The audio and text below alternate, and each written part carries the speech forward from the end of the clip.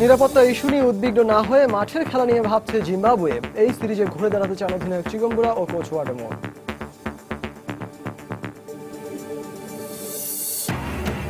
নিরাপত্তা নয়, খেলোয়াড়দের ব্যক্তিগত কারণেই আবারও বাংলাদেশ সফর স্থগিত করেছে ক্রিকেট দক্ষিণ আফ্রিকা, দাবি বিসিবির এক সপ্তাহের মধ্যে চূড়ান্ত সিদ্ধান্ত। চতুর্থ বারের মতো জাতীয় ক্রিকেট লিগের শিরোপা জিতল খুলনা। অবনমন হয়েছে বর্তমান চ্যাম্পিয়ন রংপুরে। দ্বিতীয় স্তরের সেরা দল হিসেবে প্রথম স্তরে উঠেছে বরিশাল বিভাগ। রাশিয়া বিশ্বকাপ বাছাই পর্বে তাজিকিস্তানের বিপক্ষে ম্যাচের জন্য তেইশ সদস্যের বাংলাদেশ দল ঘোষণা। আসন্ন সাফ ফুটবলে শিরোপা জিতবে বাংলাদেশ। আশাবাদ বাফুফের সভাপতির। এবং উয়েফা চ্যাম্পিয়ন্স লিগে মুখোমুখি হবে রিয়াল মাদ্রিদ ও পিএসজি এছাড়া পৃথক ম্যাচে মাঠে নামছে ম্যানচেস্টার সিটি ম্যান ইউনাইটেড ও জুভেন্টাস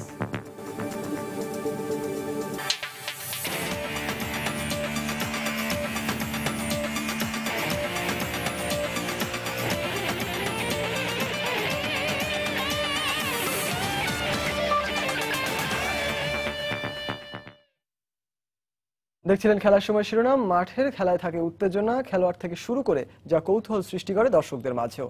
মাঠ ও মাঠের বাইরের খেলাধুলার নানা উত্তাপ ছড়ানোর সবশেষ খবর জানাতেই আমাদের নিয়মিত আয়োজন খেলার সময়। আর এই আয়োজনে আপনাদের সবাইকে স্বাগত জানাচ্ছি আমি সজল মিত্র রিচার্ড। নিরাপত্তা ইস্যু নিয়ে উদ্বিগ্ন না হয়ে মাঠের খেলা নিয়ে ভাবনা জিম্বাবুয়ে ক্রিকেট দলের। তবে বাংলাদেশের কন্ডিশন ও উইকেটে পরিচিত হওয়ায় এই সিরিজে ঘুরে দাঁড়াতে চান অধিনায়ক এলটন চিগম্বুরা অন্যদিকে দলের কোচ ডেভ ওয়াটমোরের লক্ষ্য ভালো ক্রিকেট খেলা। বাংলাদেশের বিপক্ষে ওয়ানডে ও টি টোয়েন্টি সিরিজকে সামনে রেখে মঙ্গলবার মিরপুরের একাডেমি মাঠে প্রথমবারের মতো অনুশীলন করে আফ্রিকার দলটি। নিরাপত্তা চাদরে ঢাকা মিরপুরের শেরেবাংলা ক্রিকেট স্টেডিয়ামে অনুশীলনে জিম্বাবুয়ে ক্রিকেট দল। গেল কমাস নিরাপত্তা ইস্যু নিয়ে নানা প্রশ্নে এমন দৃশ্য হয়তো স্বস্তি দেবে এদেশের ক্রিকেট সমর্থক থেকে শুরু করে ক্রিকেট কর্তাদেরও। মাঠের বাইরে নিরাপত্তা নিশ্চিত হলেও কদিন বাদেই তো জিম্বাবুয়েকে পড়তে হবে টাইগারদের সামনে যারা কিনা অপ্রতিরোধ গেল তিনটি হোম সিরিজে। আর জিম্বাবুয়ের অবস্থান যে ঠিক মেরুর উল্টো পিঠে কারণ এবছরে এখন পর্যন্ত খেলা ছটি দ্বিপাক্ষিক সিরিজের পাঁচটিতে হেরেছে এলটন চিগুম্বুরার দল। যার শেষটিতে আইসিসির সহযোগী দেশ আফগানিস্তানের বিপক্ষে হেরেছে তারা। তবে সেসব নিয়ে আপাতত ভাবছে না আফ্রিকার দলটি। নতুন সফর তাই শুরুটাও নতুন করে করতে চায় তারা. বাংলাদেশের নিরাপত্তা নিয়ে আমরা মোটেও উদ্বিগ্ন না। আমরা মাঠের খেলাতেই মনোযোগ দিতে চাই। আমাদের লক্ষ্য যতটা সম্ভব বেশি ক্রিকেট খেলা। আফগানিস্তানের বিপক্ষে সিরিজের ফলাফল নিয়েও আমরা চিন্তিত নই। বাংলাদেশের বিপক্ষে আমাদের অতীত রেকর্ড খুব একটা ভালো না হলেও আশা করছি এই সিরিজে আমরা ঘুরে দাঁড়াতে পারব। ওয়ানডেতে বাংলাদেশের বিপক্ষে সবচেয়ে বেশি মুখোমুখি হয়েছে জিম্বাবুয়ে। তাই বাংলাদেশের কন্ডিশনের পাশাপাশি প্রতিপক্ষ হিসেবে টাইগাররা বেশ পরিচিত এলটন চিকুম্বুরার দলের। আসন্ন সিরিজে সেই সুবিধাটা তারা কাজে লাগাতে চায় বলে জানালেন জিম্বাবুয়ের অধিনায়ক। Uh. এখানকার উইকেট ও কন্ডিশন আমাদের পরিচিত। দলের অনেকেরই এখানে খেলার অভিজ্ঞতা আছে। আর ক্রিকেট অনিশ্চয়তার খেলা। নিজেদের মাটিতে বাংলাদেশ কঠিন প্রতিপক্ষ হলেও এই সিরিজে আমরা ভালো ক্রিকেট খেলতে চাই. বর্তমান অধিনায়ক এলটন চিগুম্বুরার পর টাইগারদের বিপক্ষে সবচেয়ে বেশি সাতচল্লিশটি ওয়ানডে ম্যাচ খেলেছেন হ্যামিল্টন মাসাকাজ্জা। করেছেন এগারোশো বত্রিশ রান। কিন্তু অভিজ্ঞ এই অলরাউন্ডারকে ছাড়াই এবার বাংলাদেশ সফরে এসেছে জিম্বাবুয়ে। তাই এই সিরিজকে তরুণদের নিজেদের প্রমাণের মঞ্চ হিসেবে দেখছেন দলের কোচ। আমাদের দলে বেশ কিছু প্রতিভাবান ক্রিকেটার আছে। এটা তাদের জন্য ভালো করার সুযোগ। আফগানিস্তানের বিপক্ষে সিরিজ হারলেও আমরা ভালো ক্রিকেট খেলেছিলাম। বাংলাদেশের বিপক্ষে ভালো খেলে প্রমাণ করতে চাই। আমরাও চ্যালেঞ্জিং একটি দল. বাংলাদেশের মাটিতে স্বাগতিকদের বিপক্ষে সবশেষ দু হাজার দশ সালে ওয়ানডে ম্যাচ জিতেছিল জিম্বাবুয়ে।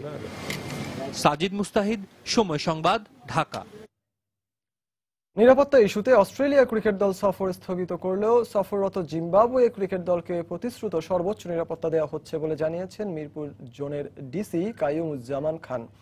মিরপুর শেরে বাংলা জাতীয় স্টেডিয়ামে জিম্বাবুয়ের অনুশীলন চলাকালে আইন শৃঙ্খলা রক্ষা বাহিনীর সদস্যদের উপস্থিতি অন্য যে কোনো সিরিজের তুলনায় এদিন ছিল অনেক বেশি। শুধু মাঠেই না, মাঠের আশেপাশের দালানগুলোতেও পুলিশ ও অন্যান্য বাহিনীর সদস্যরা নিরাপত্তা নিশ্চিত করতে উপস্থিত ছিলেন। এছাড়া আইসিসি নির্দেশনা অনুযায়ী নিরাপত্তা নিশ্চিত করা হচ্ছে বলেও জানান পুলিশের ঊর্ধ্বতন কর্মকর্তা।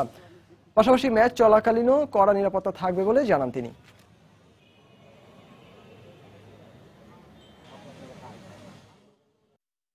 এই সিরিজকে ঘিরে আমাদের তো আইসিসির একটা এসওপি আছে। আমরা সেই এসওপি হান্ড্রেড পার্সেন্ট ফলো করছি।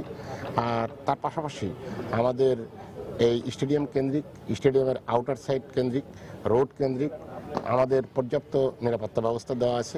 গ্যালারি ভিত্তিক আমরা সেগমেন্ট সিস্টেম করেছি। রোড ভিত্তিক আমরা কিছু রোড প্রোটেকশনের জন্য অতিরিক্ত কিছু ফোর্স রিইনফোর্সমেন্ট করেছি। নিরাপত্তার কারণে নয়, খেলোয়াড়দের ব্যক্তিগত কারণেই দক্ষিণ আফ্রিকা নারী ক্রিকেট দল আপাতত বাংলাদেশ সফর স্থগিত করেছে বলে দাবি বিসিবির প্রধান নির্বাহী নিজামুদ্দিন চৌধুরীর। সময় সংবাদকে তিনি আরও জানান দুদলের নির্ধারিত সিরিজে ম্যাচের সংখ্যা কমিয়ে এনে আগামী এক সপ্তাহের মধ্যে চূড়ান্ত সূচি ও বাংলাদেশ সফরের পরবর্তী তারিখ জানাবে ক্রিকেট দক্ষিণ আফ্রিকা। বিস্তারিত থাকছে হুমায়ুন কবির রোজের রিপোর্টে। গেল মাসের পনেরো অক্টোবর বাংলাদেশ সফরে আসার কথা থাকলেও নিরাপত্তার প্রশ্ন তুলে ক্রিকেট অস্ট্রেলিয়ার মতো দক্ষিণ আফ্রিকা নারী ক্রিকেট দলও নির্ধারিত সফর স্থগিত করে। এরপর পুনরায় তিন নভেম্বর বাংলাদেশ সফরের তারিখ দেয় ক্রিকেট দক্ষিণ আফ্রিকা। তাই আইসিসি নিয়ম অনুযায়ী কোনো দ্বিপাক্ষিক সিরিজের আয়োজক দেশের নিরাপত্তা পর্যবেক্ষণ করে ওই দেশের ক্রিকেট বোর্ড। সেই ধারায় সোমবার দেশটির নিরাপত্তা প্রতিনিধি বাংলাদেশের নিরাপত্তা পর্যবেক্ষণ করার পর ইতিবাচক মতামত দেয় বিসিবিকে। কিন্তু আবারও সিরিজ স্থগিত করার জন্য ভিন্ন অজুহাত দিল দেশটির cricket board. South African cricket board CEO উনি আমাকে ফোন করেছিলেন। উনি জানিয়েছেন যে ওনাদের আরও চার থেকে পাঁচ দিন সময় লাগবে। স্পেসিফিক কজটা হচ্ছে যে ওদের প্লেয়ার যাদের সিলেকশন করা হচ্ছে তারা, তাদের কারও কারও পরীক্ষা চলছে এবং এই বিষয়টা তারা কনসিডার করেই ফাইনাল অ্যারাইভেল ডিটেলসটা আমাদের জানাবে। একেবারেই সিরিজ বাতিলের কথা না বললেও আভাস এমনটাই মিলছে। কারণ এ মাসের পনেরো তারিখে বাংলাদেশ সফরে আসবে জিম্বাবুয়ে নারী ক্রিকেট দল। তাই এক সপ্তাহ পর দক্ষিণ আফ্রিকার বিপক্ষে সিরিজ আবারও নির্ধারণের সম্ভাবনা খুবই ক্ষীণ। তারপরও আসার কথা জানালেন বিসিবির প্রধান নির্বাহী। যদি দেরি হয়, সেক্ষেত্রে আমাদের নাম্বার অফ ম্যাচ হয়তো কম্প্রোমাইজ করতে হতে পারে।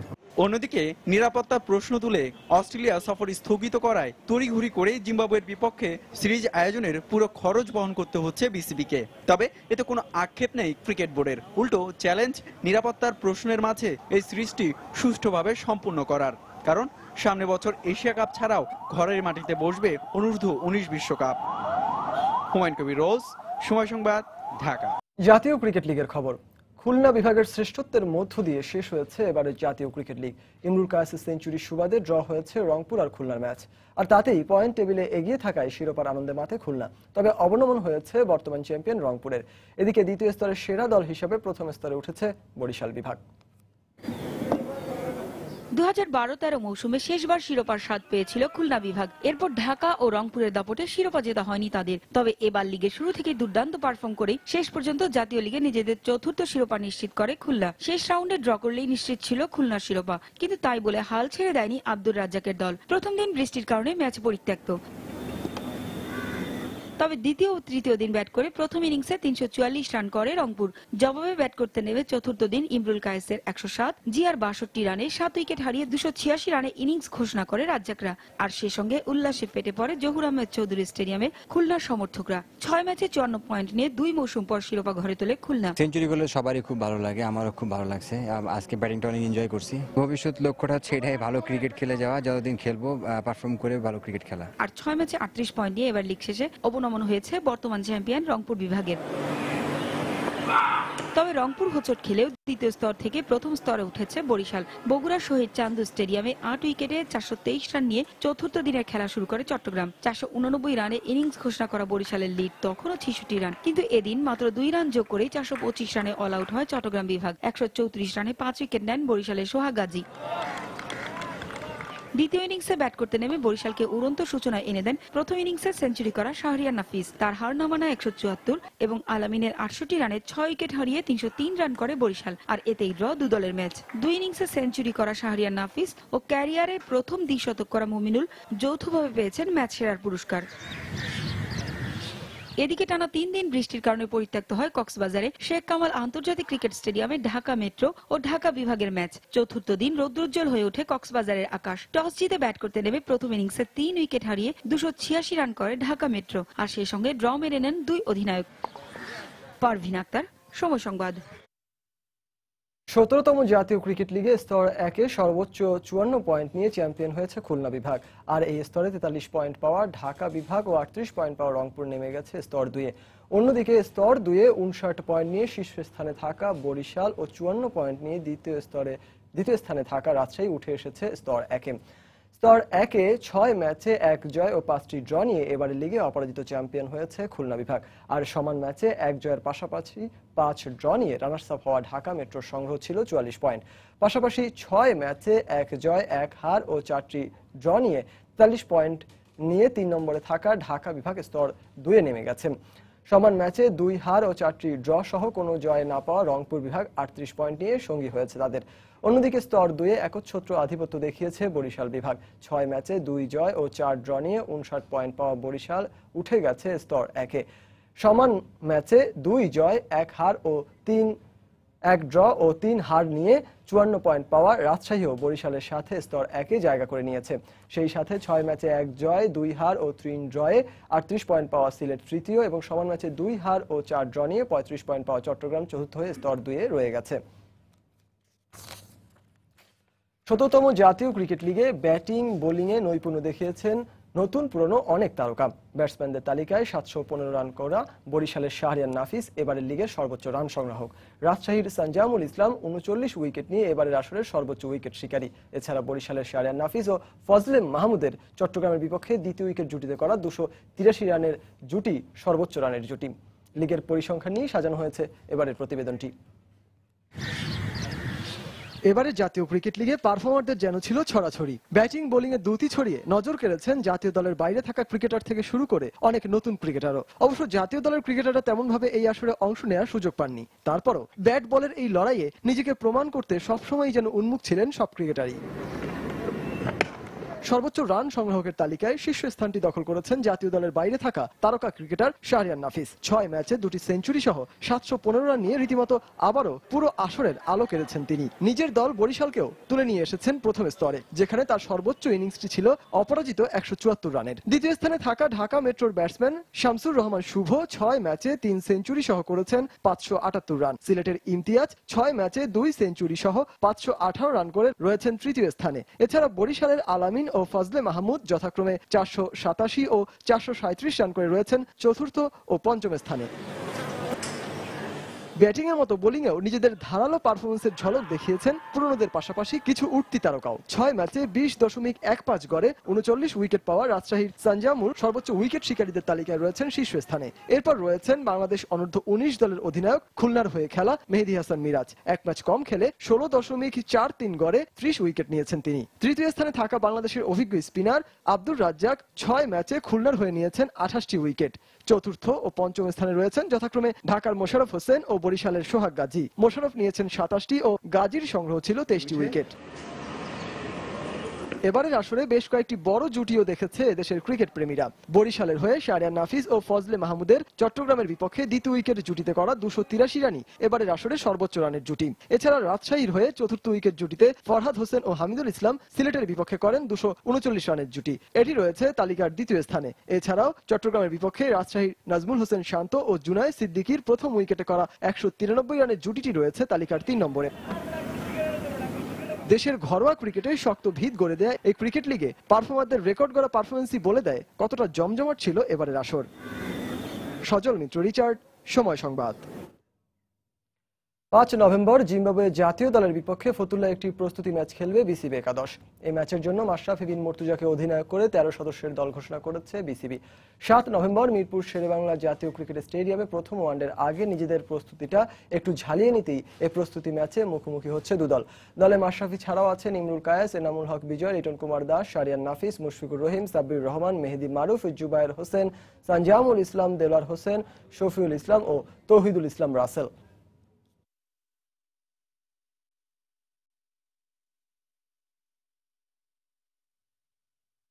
জিম্বাবুয়ের বিপক্ষে স্বাগতিক বাংলাদেশই ফেভারিট এমনটাই মন্তব্য বাংলাদেশ জাতীয় দলের পেসার তাসকিন আহমেদের। ইঞ্জুরির কারণে চূড়ান্ত দলে জায়গা না হলেও আক্ষেপ নেই তার। তবে মাঠে ফিরতে মুখিয়ে আছেন এই টাইগার পেসার। মঙ্গলবার ঢাকা কমার্স কলেজের ছাত্র ছাত্রীদের আয়োজনে স্বেচ্ছায় রক্তদান কর্মসূচিতে সবাইকে উদ্বুদ্ধ করতে এসে জিম্বাবুয়ে ও বাংলাদেশের সিরিজ নিয়ে নিজেদের ভাবনা তুলে ধরেন তাসকিন। ক্রিকেট আকাশে নক্ষত্র বলেই কিনা তিনি এদের সবার প্রিয় তারকা। তাই একটা অটোগ্রাফের জন্য কিশোর কিশোরীরা মরিয়া। নিজেদের মাঝে যেন একরকম অঘোষিত প্রতিযোগিতা কে কার আগে টাইগার পেসার তাসকিনের সান্নিধ্য পাবেন। বাংলাদেশের ক্রিকেট যোদ্ধা তাসকিন অনেক জয় পরাজয়ের গল্পের গাঁথুনি দিয়েছেন। তবে এদিন ঢাকা কমার্স কলেজের স্বেচ্ছায় রক্তদানে কর্নিয়ার আয়োজনে সম্পৃক্ত হতে পেরে দারুণ উচ্ছ্বসিত তাসকিন। বেশ প্রশংসা করলেন যারা রক্ত সংগ্রহ করে সাধারণ মানুষের জীবন বাঁচানোর আপ্রাণ চেষ্টা করেন। এরকম অনুষ্ঠানে যদি সুযোগ পাই একটু পাশে যায় দাঁড়ানোর কারণ আমরা যদি পাশে না দাঁড়াই তাহলে দাঁড়াবে কে? তো আমরা এখন ইয়াং জেনারেশন তো আমরা যদি পাশে দাঁড়াই এইসব ব্যাপারে যদি আমরা আরও সচেতন হই তাহলে আগামী প্রজন্মটা ভালো থাকবে। রক্তদান ও সংগ্রহের মাধ্যমে যারা কোনো প্রকার লাভ ছাড়াই শারীরিক ও মানসিক পরিশ্রমে এই মহতি কাজ করেন তাদের প্রতি মুগ্ধ হয়েছেন তাসকিন। তবে রক্তদান কর্মসূচির স্বেচ্ছাসেবকরা জাতীয় দলের এই ক্রিকেটারকে তাদের মাঝে পেয়ে আরও বেশি অনুপ্রাণিত। তার মতো একজন ক্রিকেটার যে নাকি জাতীয় পর্যায়ে খেলে সে যখন এখানে এসে এই একটা এরকম অনুষ্ঠানে উপস্থিত থাকল তখন এটা তরুণ তরুণী যারা আমাদের আছে সবাইকে উদ্বুদ্ধ করবে নিঃসন্দেহে। আমাদের একটাই স্লোগান রক্ত দিন জীবন বাঁচান তুচ্ছ নয় রক্তদান বাঁচাতে পারে একটি প্রাণ। জাতীয় দলের প্রেসার তাসকিন এসেছিল এর মাধ্যমে সবাই অনেক বেশি অনুপ্রাণিত হয়েছে এবং সবাই চাচ্ছে যে আহ, সবাই আরও নিজেদেরকে এই কাজে আহ, সম্পৃক্ত করবে এটাই আশা করি। সুযোগ পেলে মাঠের বাইরে সামাজিক সচেতনমূলক কর্মকাণ্ডে দেখা যায় তাসকিনকে। কিন্তু আপাতত দলে না থাকলেও বাইশ গজের ক্রিকেট তার মস্তিষ্কে সর্বদা। তাই মাঠের বাইরে থেকেও তাসকিনের হুঙ্কার প্রতিপক্ষ জিম্বাবুয়েকে গুড়িয়ে দেওয়ার। চেষ্টা করবে এই সিরিজের মধ্যেই ফিট হওয়ার আর যদি নাও হয় তাও দলের জন্য শুভকামনা। দলের ভালো খেলাটাই আমার মূল চাহিদা। বাংলাদেশ ফেভারিট না জিম্বাবুয়ে অবশ্যই বাংলাদেশ ফেভারিট গেল বছরের জুনে আন্তর্জাতিক ক্রিকেটে অভিষেক হবার পর এবার নিয়ে দুবার ইনজুরির কারণে জিম্বাবুয়ের বিপক্ষে হোম সিরিজ মিস করছেন ক্ষিপ্র গতির পেসার তাসকিন আহমেদ। হুমায়ুন কবির রোজ সময় সংবাদ ঢাকা। এবার ফুটবলের খবর দু হাজার আঠারো রাশিয়া বিশ্বকাপ ও দু হাজার উনিশ এশিয়ান কাপ বাছাই পর্বে তাজিকিস্তানের বিপক্ষে অ্যাওয়ে ম্যাচের জন্য তেইশ সদস্যের দল ঘোষণা করেছে বাংলাদেশ ফুটবল ফেডারেশন। দলের নতুন মুখ মাসুক মিয়া, জনি। দল ঘোষণার আগে অনুশীলনের পুরো সময়টাতেই রক্ষণ ভাগকে আরও শক্তিশালী করার ব্যাপারে নজর ছিল কোচ ফাবিও লোপেজের। তাই ঘোষিত তেইশ সদস্যের দলের মধ্যে আটজন রক্ষণ ভাগের খেলোয়াড়কে দলে রেখেছে নির্বাচকরা। কারণ বাছাই পর্বের ম্যাচে এখন পর্যন্ত একমাত্র তাজিকদের বিপক্ষেই ড্র করেছিল বাংলাদেশ। ফলে তাজিকিস্তানের বিপক্ষে অ্যাওয়ে ম্যাচে জয় কিংবা ড্র করতে চায় মামুনুলরা। দলের গোলরক্ষক হিসেবে শহীদুল, রাসেল, আশরাফুল, রক্ষণ ভাগে রায়হান, ইয়াসিন, নাসির, ইয়ামিন, নাসিরুল ইমন, ফয়সাল ও ওয়ালি ফয়সাল এবং কেষ্ট কুমার রয়েছেন। মিডফিল্ডার হিসেবে আছেন মাসুক মিয়া, সোহেল হেমন্ত, জামাল ভুইয়া, মামুনুল ও শাহেদ। এদিকে দলের আক্রমণ ভাগে রয়েছেন কমল, সজীব তকলিস, শাখাওয়াত ও নাবিব নওয়াজ।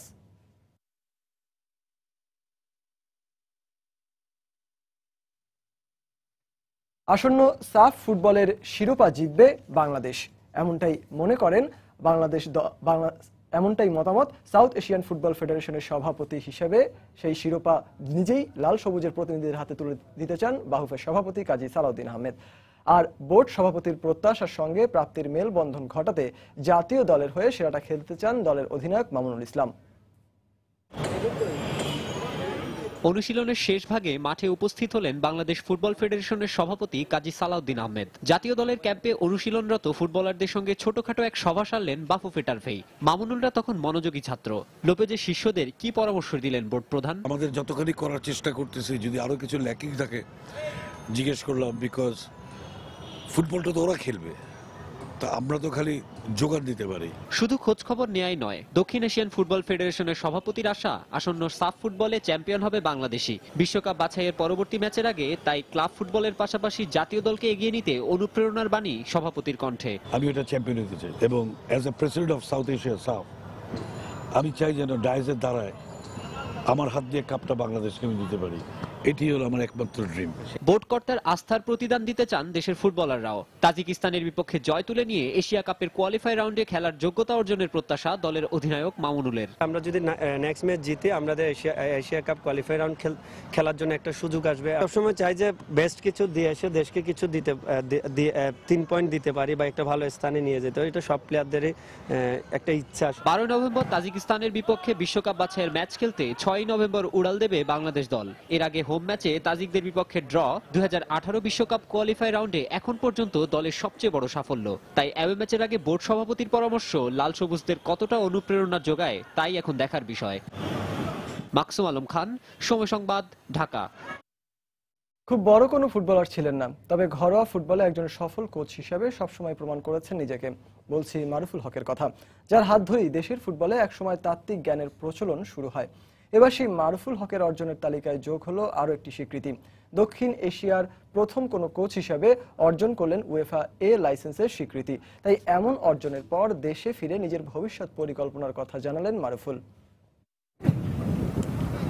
ছোটবেলা থেকে লেখাপড়ার অমনোযোগী বলে পরিবারের ধারণা ছিল জীবনে হয়তো কিছুই করা হবে না তার। এমনকি কোচিং ক্যারিয়ারেও বিভিন্ন সময় নানা কারণে কট্টর সমালোচনার মুখোমুখি হতে হয়েছে। কিন্তু এবার সব সমালোচনার দাঁত ভাঙা জবাব দিলেন তিনি। বলছি মারুফুল হকের কথা। দক্ষিণ এশিয়ার প্রথম কোচ হিসেবে ওয়েফার এ লাইসেন্সের স্বীকৃতি পেয়ে নিজের কোচিং ক্যারিয়ারকে যিনি নিয়ে গেছেন অনন্য এক উচ্চতায়। ভাইয়ের এমন অর্জনে তাই খুশি বড় ভাই নিজেও। আজকে তার সাফল্য আমাদের চাইতে আমরা পাঁচ ভাই ছয় ভাই তার মধ্যে সেই সবচেয়ে সফল। দু হাজার বারো সালে সম্পূর্ণ নিজস্ব উদ্যোগ ও আগ্রহের টানে ওয়েফা এ লাইসেন্সের জন্য কাজ শুরু করেন মারুফুল। ইংলিশ ফুটবল অ্যাসোসিয়েশনের অধীনে আয়োজিত এই কোর্সের তিন ধাপ সফলভাবে শেষ করে পরীক্ষা দিয়ে চূড়ান্তভাবে অর্জন করেন এই স্বীকৃতি। এবার মারুফুলের সামনে লক্ষ্য একটাই নিজের ফুটবল ক্যারিয়ারের আরও উন্নতির স্বার্থে কোচিং এর সর্বোচ্চ ডিগ্রি ওয়েফার প্রো লাইসেন্স অর্জন করা। অনেক অনেক টাকা লাগে প্রো লাইসেন্সে। সেটা এখনই আমি মানে কোনো কিছু বলতে পারছি না। এটা সময় বলবে আর কি যে আমি ওটা করতে পারব কিনা। দেশের ঘরোয়া ফুটবলে মোহামেডান শেখ রাসেল শেখ জামাল ও মুক্তিযোদ্ধার মতো ক্লাবের কোচের দায়িত্ব পালন করে অনেক সাফল্য বয়ে এনেছেন মারুফুল। তবে এবার ওয়েফার এ লাইসেন্সের স্বীকৃতি অর্জনের পর বিদেশি কোনো ক্লাবের সঙ্গে যুক্ত হবেন কিনা এমন প্রশ্নের জবাবে মারুফুল জানান ভালো কোনো প্রস্তাব পেলে অবশ্যই সেটাকে কাজে লাগাতে চান তিনি। যুক্তরাষ্ট্র বা যুক্তরাজ্যের বাইরে মানে ভালো একটা জায়গায় যেখানে সম্মান টাকা এবং এক্সপিরিয়েন্স কিছু জানা যাবে যেখানে কাজ করা সেখানে আমার ফার্স্ট প্রায়োরিটি থাকবে। এদিকে জাতীয় দলের কোচ হিসেবে কাজ করার আগ্রহ আছে কিনা এমন প্রশ্নের জবাবে নিজের অনিচ্ছার কথাই জানালেন মারুফুল। ম্যাক্সিমাম প্লেয়ার কিন্তু আমার টিম এখানে ন্যাশনাল টিমের প্লেয়ারদের নিয়ে কাজ করছে এবং ওরা ন্যাশনাল টিম পারফর্ম করে। সেই জন্য আমার ওই ওটার জন্য কোনো আক্ষেপও নাই বা কোনো ইচ্ছাও নাই। ফারজানা মুমু সময় সংবাদ ঢাকা। এবার উয়েফা চ্যাম্পিয়ন্স লিগের খবর। এ গ্রুপের পয়েন্ট টেবিলের শীর্ষে ওঠার লড়াইয়ে মাঠে নামবে দুই জায়ান্ট রিয়াল মাদ্রিদ ও প্যারিস সেন্ট জার্মি সান্তিয়াগো বার্নাবুতে মাদ্রিদিস্তানরা আতিথ্য দেবে পিএসজিকে। আর ডি গ্রুপের শীর্ষে ওঠার লড়াইয়ে ইংলিশ জায়ান্ট ম্যানচেস্টার সিটি মুখোমুখি হবে সেভিয়ার। ওল্ড ট্রাফোর্ডে ম্যানচেস্টার ইউনাইটেড আতিথ্য দেবে সিএসকে মস্কোকে এবং জুভেন্তাসের প্রতিপক্ষ মনসেন গ্ল্যাডবাক সবগুলো ম্যাচই শুরু হবে আজ রাত পৌনে দুইটায়।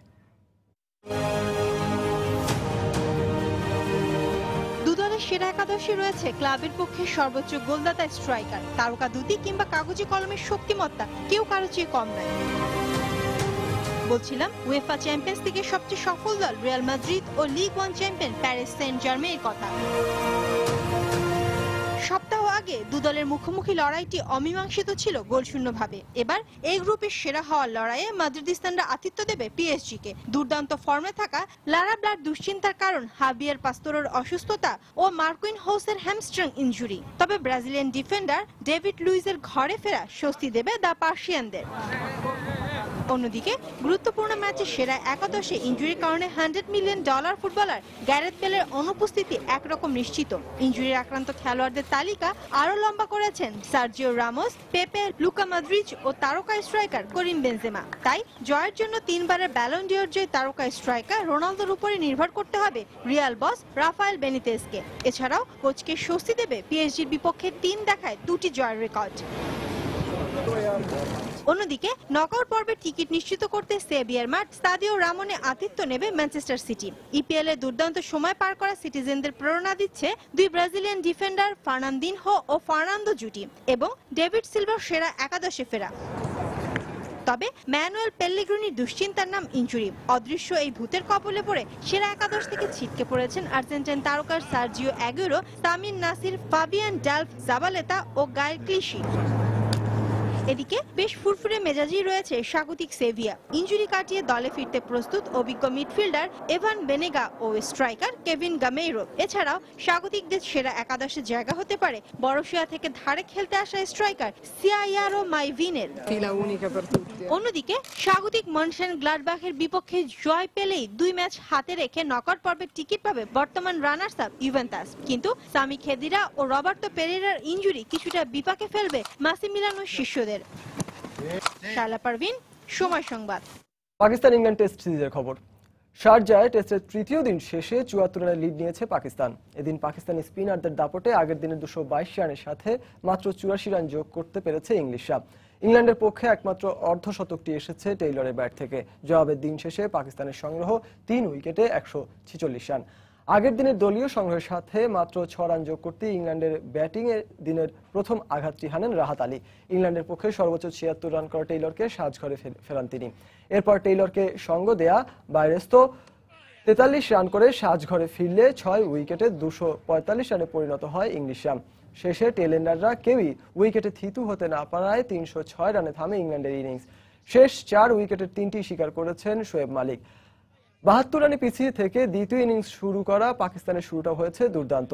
ওপেনার মোহাম্মদ হাফিজ ও আজহার আলীর উদ্বোধনী জুটি দলীয় সংগ্রহে যোগ করেন একশো এক run.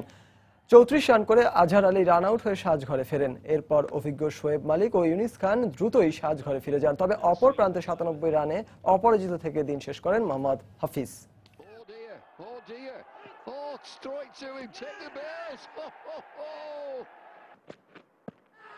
Oh, Sri Lanka West Indies one day series প্রসঙ্গ।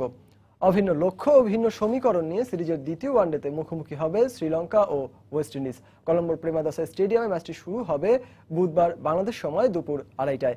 সিরিজে এক শূন্যতে এগিয়ে রয়েছে স্বাগতিক লঙ্কানরা।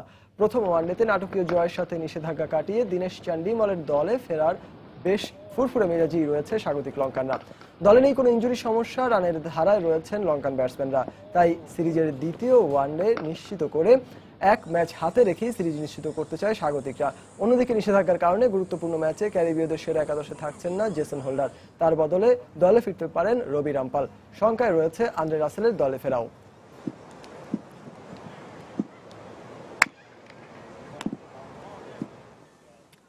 দেশের বাইরের ক্রিকেটের খবর। চার বছরে একবার টি টোয়েন্টি বিশ্বকাপ আয়োজনের কথা বলছেন সাবেক কিউই অধিনায়ক স্টিফেন ফ্লেমিং। ক্রিকেটের সংক্ষিপ্ত পরিসরকে আরও জনপ্রিয় করতে এর দক্ষ ব্যবস্থাপনার উপর এখনই কাজ করা দরকার, এমনটাই বলেছেন ব্ল্যাক ক্যাপসদের হয়ে পাঁচটি টি টোয়েন্টি খেলা এই ওপেনার ফ্লেমিং এখন ইন্ডিয়ান প্রিমিয়ার লিগের দল, চেন্নাই সুপার কিংসের প্রধান কোচ। বর্তমানে দুই বছর পর পর টি টোয়েন্টি বিশ্বকাপের আসর বসছে। আগামী টি টোয়েন্টি বিশ্বকাপ অনুষ্ঠিত হবে ভারতে দু হাজার ষোলো সালে।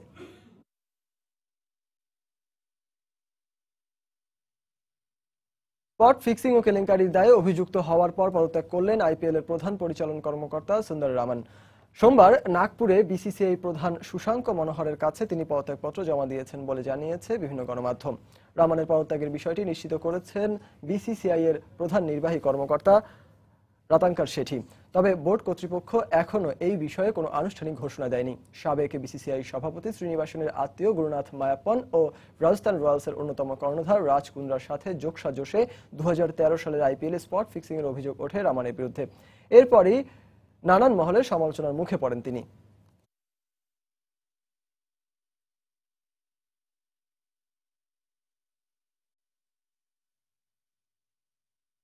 ওভার রেটের অভিযোগে শ্রীলঙ্কার বিপক্ষে এক ম্যাচের নিষেধাজ্ঞায় সিরিজের দ্বিতীয় ম্যাচে নিষিদ্ধ হয়েছেন ওয়েস্ট ইন্ডিজ ক্রিকেট দলের অধিনায়ক জেসন হোল্ডার। এক ম্যাচ নিষেধাজ্ঞার পাশাপাশি ম্যাচ ফির চল্লিশ শতাংশ জরিমানাও গুনছেন এই ক্যারিবিয়ান। শ্রীলঙ্কার বিপক্ষে সিরিজের প্রথম ম্যাচে আইসিসির আচরণ বহির্ভূত কাজ করায় চলতি সিরিজের দ্বিতীয় ম্যাচে খেলতে পারবেন না জেসন হোল্ডার। এক ম্যাচ নিষেধাজ্ঞার পাশাপাশি ম্যাচ ফিরে চল্লিশ শতাংশ জরিমানা করা হয়েছে আইসিসি ম্যাচ রেফারি ডেভিড বুনের পক্ষ থেকে। এবছর স্লো ওভার রেটের অভিযোগে এ নিয়ে দ্বিতীয়বারের মতো অভিযুক্ত হলেন জেসন।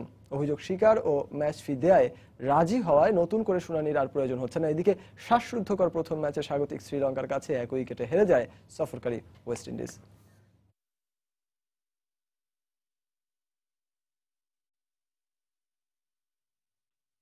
এ পর্যায়ে খেলার সময়ের শীর্ষ সংবাদগুলো জানিয়ে দিচ্ছি আরও একবার।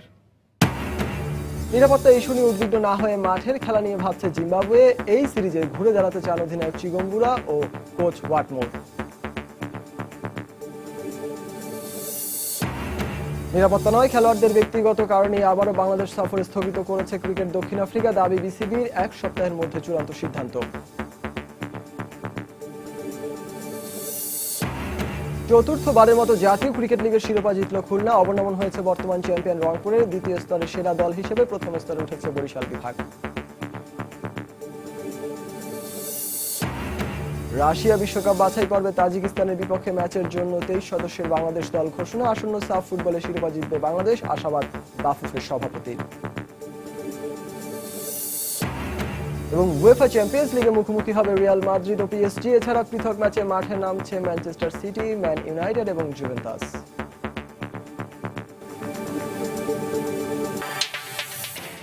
দর্শক, এই ছিল খেলার সময় এখনকার আয়োজন। যে কোনো খবর পেতে ভিজিট করুন সময় নিউজ ডট টিভি আর খেলার জগতের সব খবর সর্বশেষ খবর জানতে সঙ্গে থাকুন সময়।